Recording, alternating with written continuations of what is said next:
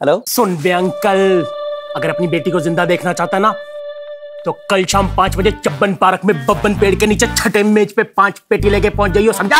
Got it किसका phone था? Kidnapper का फ़ोन था। बोल रहा था कि अगर पैसे नहीं मिले तो रिंकी को मार डालेगा। ओह मुझे लगा ब्रॉडबैंड वाले का। अब सबके पास होगा पैसा। Play your favourite games on M P L and win big daily download now from M P L dot आएँगे तेरे पप्पा